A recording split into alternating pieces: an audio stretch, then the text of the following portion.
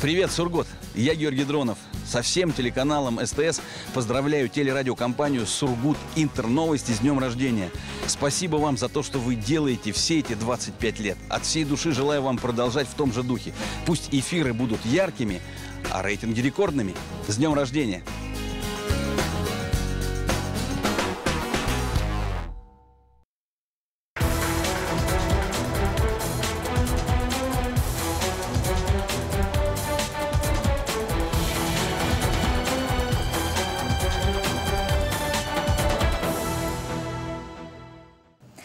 Как привлечь в Сургут дополнительные инвестиции почему градоначальник Дмитрий Попов собирается оптимизировать штатное расписание администрации?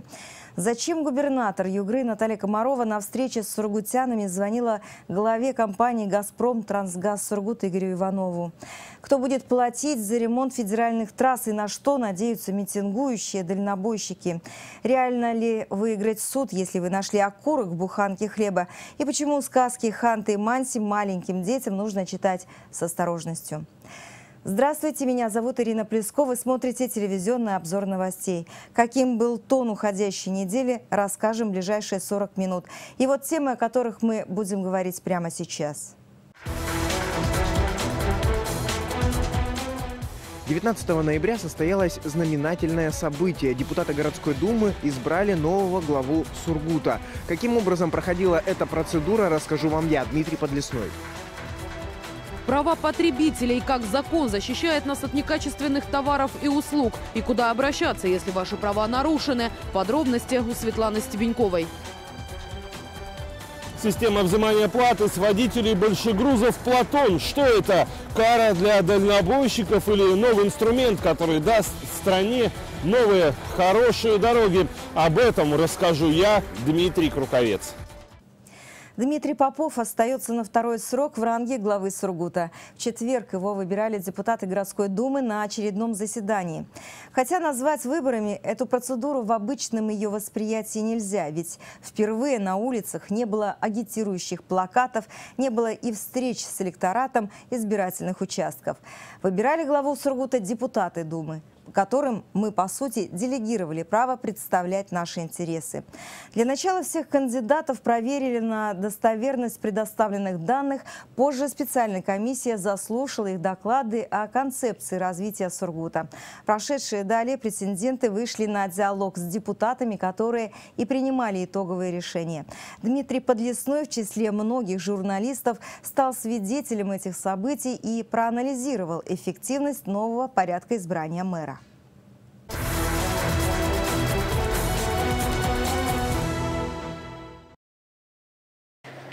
В назначенный час 16 ноября на конкурс по отбору главы города пришли не все заявленные кандидаты. Один из них процедуру регистрации решил пропустить. Затем специальная комиссия рассмотрела документы всех претендентов. Проходила проверка по э, документам, наличие достоверных, недостоверных данных, э, предоставленные э, участниками, полные и или заведомо ложные сведения, и поэтому э, к э, участию в дальнейшем во втором этапе конкурса э, у нас не допущено 11 человек. Несогласие, отрицание, сдержанное недоумение. Реакция не прошедших в следующий этап кандидатов была разной. Все происходило в четком соответствии с решением Думы, с тем регламентом, который есть. Собственно говоря, комиссия сделала всю свою работу. В итоге к собеседованию допустили троих. Чиновника из Сургутского района Жанну Кадацкую, вице-президента окружной федерации синхронного плавания Андрея Марковича и действующего главу Дмитрия Попова. Им предстояло рассказать о том, как они построят работу в качестве градоначальника.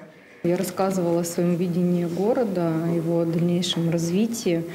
И да, было очень много вопросов. Части они были мнение было в комиссии противоречивое э, к высказанным идеям о развитии города, о лично моем видении этого. И была дискуссия. Андрей Маркович базировал свою программу на рациональном использовании имеющихся кадровых ресурсов. Я считаю, что Дмитрий Валерьевич Попов и в целом э, его команда, заместители, это команда э, профессионалов, хороших управленцев. И в случае избрания меня главой, я думаю, что все продолжат работу на благо нашего города. Первых двух кандидатов комиссия заслушивала около часа, а на диалог с Дмитрием Поповым ушло 40 минут. Вопросов о том, как он будет руководить аппаратом администрации, не было. А вот о перспективах Сургута порассуждать пришлось. То, что касается утвержденной нами вместе стратегии развития города до 2030 года, те особенности, которые а, ситуация социально-экономическая, которая существует в стране, накладывает на этот процесс, в том числе и задавали вопросы, как скажется, изменение бюджетных проектировок с трех лет на период планирования в один год. В следующий финальный этап голосования комиссия направила всего двух кандидатов – Жанну Кадацкую и Дмитрия Попова. Доклады кандидатов попали на суд депутатов Сургутской думы. Красной нитью проходил вопрос о привлечении в город дополнительных инвестиций. Город Сургут э, у нас по факту это дотационный э, город. Да? Дотационный город. Э, и вы уверены в том, что вы сможете договориться с окружными властями, нам будут э, в виде субвенций, там, дотаций перечислять не 11 миллиардов, а там, ну, 15 миллиардов. И каким образом вы это сможете сделать? Когда есть э, прозрачная структура администрации, понятность ее действий и результат, и эти деньги можно просить и сказать, да, мы сделали здесь столько-столько, и результат будет таким. И нам не хватает дополнительной суммы. Дмитрий Попов о диалоге с окружными властями знает не понаслышке. Его депутаты спрашивали о развитии конкурентоспособности сургутских товаров, а также благоустройстве городской инфраструктуры. После чего народные избранники приступили к процедуре голосования. За кандидата Кадацкую Жанну Сергеевну проголосовало 0 человек. Второе.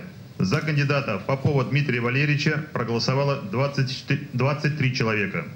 Единодушие парламентариев было вполне прогнозируемо. Дошедшие до финала кандидаты с точки зрения политического авторитета были разных весовых категорий.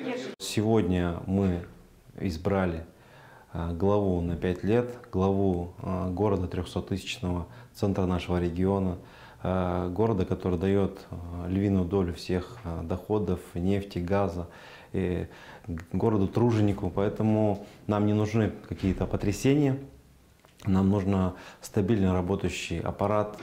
Переизбрание действующего главы не означает, что ничего не изменится. Дмитрий Попов проанонсировал оптимизацию процессов управления в муниципалитете в ближайшее время. Я некоторое время еще потяну интригу, потому что те предложения, которые подготовил я, они не были согласованы и сейчас не согласованы даже с моими заместителями. Я специально не стал этого делать до принятия сегодняшнего решения, ну, чтобы не забегать вперед, ну, как говорят, чтобы не спугнуть. Поэтому в ближайшее ближайшее время я соберу в первую очередь своих заместителей, покажу им свое видение новой структуры администрации.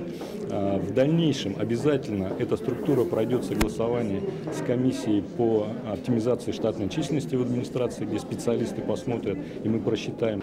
Долгосрочные перспективы развития города будут связаны с утвержденной стратегией 2030. И, вероятно, как раз более эффективная система управления позволит достичь планируемых показателей либо в срок, либо раньше. Гарантии того, что деятельность деятельность аппарата администрации будет результативнее, стали слова переизбранного на второй срок Дмитрия Попова о том, что он постарается быть лучше своего предшественника. Но ведь в каждой шутке есть доля правды. Дмитрий Подлесной, Вячеслав Шаркунов, Сергей Колотов. Специально для телевизионного обзора новостей. Уже сейчас много раз упомянутая кандидатами на пост главы города и главный аргумент Дмитрия Попова стратегии развития Сургута до 2030 года проходит процесс внедрения в действующие нормативные акты. Сейчас специалисты администрации адаптируют муниципальные программы под обозначенные цели и задачи. Организуют специальный совещательный орган, в который войдут эксперты по 12 векторам развития Сургута. Эти специалисты продолжат оперативную корректировку документов. Сейчас э, разрабатывается постановление о создании рабочих групп по каждому вектору. Их у нас 12 в городе. Дальше мы определим деятельность этих векторов, э, деятельность рабочих групп и деятельность э, самого совета при главе города. Определенные сложности могут возникнуть при синхронизации стратегии и генплана города. Эти документы отличаются, а именно в количестве возведения социально значимых учреждений. Также пройдет процесс согласования территориального расположения этих объектов. В целом в самой стратегии описаны механизмы и алгоритмы реализации задуманных планов – хотя мероприятия по реализации документа предусматривают непрерывную актуализацию в зависимости от изменений экономических условий. Этот документ живой, он может корректироваться там ежемесячно, э, может ежеквартально, в зависимости от тех мероприятий, которые исполняются, и те мероприятия, которые и инициативы, самое главное, людей, которые могут в этот план добавляться. На этой неделе Сургут с рабочим визитом посетила губернатор Югры Наталья Комарова. Глава автономии прибыла в наш город в четверг и первым делом посетила региональный чемпионат профессионального мастерства World Skills Russia. Наталья Владимировна прошла по всем площадкам, на которых проходили соревнования, посмотрела, как именно устроен конкурс и даже лично пообщалась с некоторыми участниками. Губернатор отметила достаточно высокий уровень организации и высказала пожелание развивать данное направление в Югре. В первую очередь потому, что наш регион испытывает острую нехватку рабочих профессий. После экскурсии Наталья Комарова провела встречу с руководителями профессиональных образовательных организаций и вузов.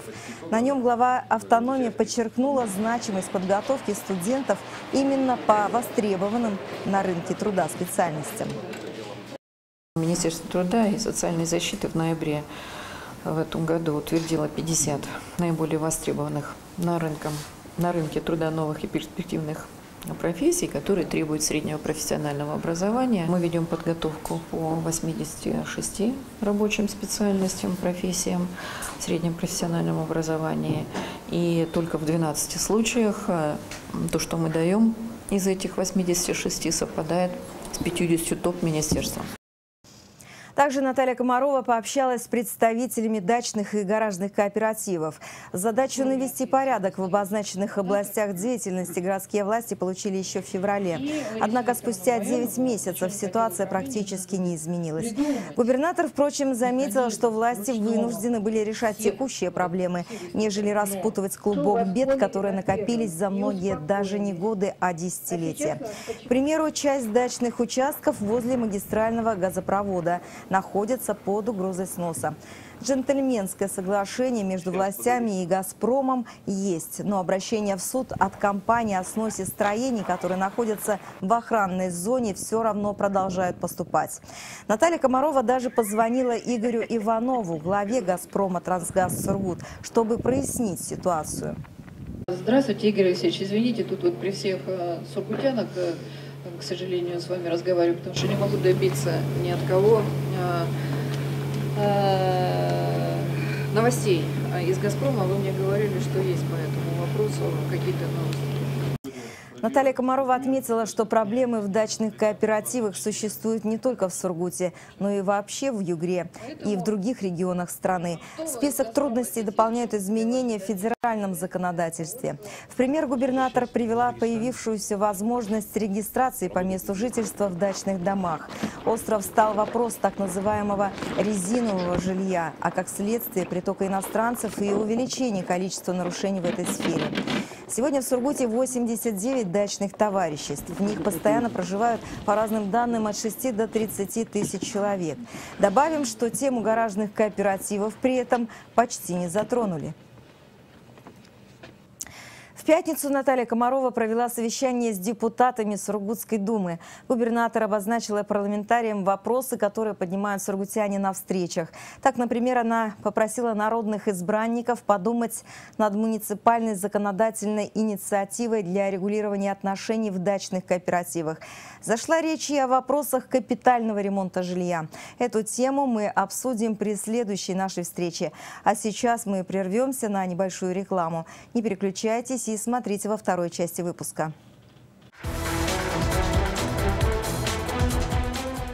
Система взимания платы с водителей большегрузов «Платон». Что это? Кара для дальнобойщиков или новый инструмент, который даст стране новые хорошие дороги. Об этом расскажу я, Дмитрий Круковец. Права потребителей, как закон защищает нас от некачественных товаров и услуг, и куда обращаться, если ваши права нарушены. Подробности у Светланы Стебеньковой. День, когда тишина не должна быть в библиотеке. Чью душу лечат сказки? И кто их больше любит, дети или взрослые? Об этом вам расскажу я, Екатерина Любишева.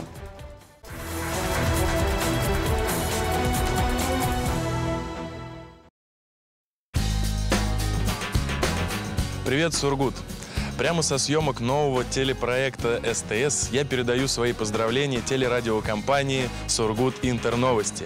Желаю вам всего самого наилучшего. Ко мне присоединяются мои коллеги, ваши зрители и, конечно же, канал СТС. С праздником вас, друзья! Всего вам самого-самого наилучшего.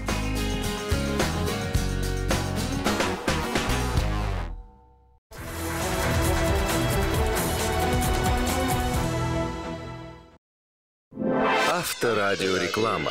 Наш телефон 221 222. Радио «Маяк Югра». Телерадиокомпания «Сургут Интерновости». На одной волне с вами. 107,9 FM. Радиореклама. Рекламно-информационное агентство «5 звезд» на 5 риа.ру. Телефон 221 555. Модном заведении особая атмосфера для проведения самых различных мероприятий. Стильные декорации, эстетика, музыкальное оформление, отменное фирменное меню. Студия «Четвертая власть». Улица 30 лет Победы, 27, дробь 2. Телефон 72 888 3.